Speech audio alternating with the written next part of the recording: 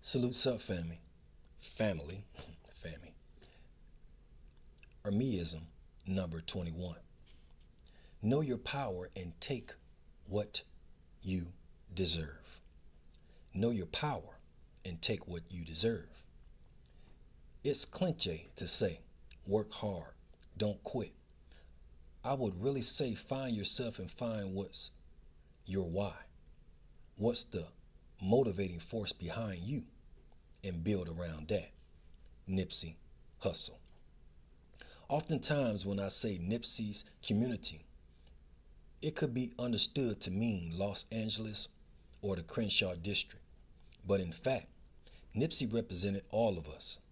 He was a mouthpiece and community activist for the hoods in America, in Eritrea, and anywhere that the system was designed against a marginalized group.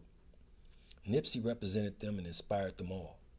One of the biggest things that these groups have in common is that they have the power, but only if they knew it.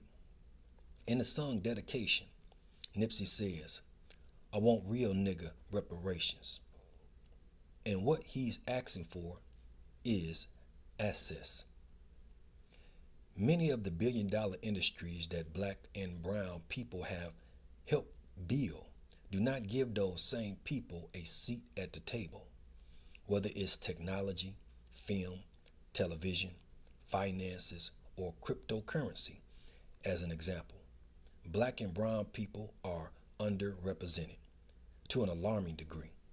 This inequality could and would, would stop if black and brown people knew their worth and used it as leverage.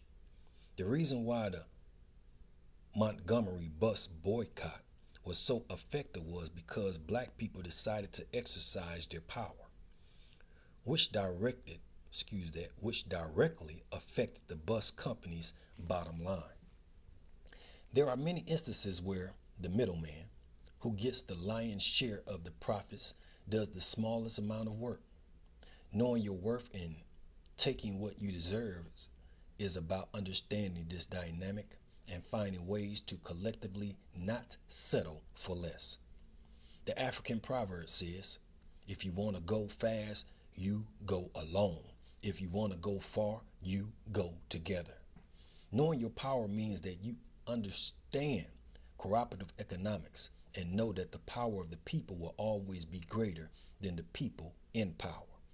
And with that being stated, family, keep your heads up, stay focused, and read. Peace.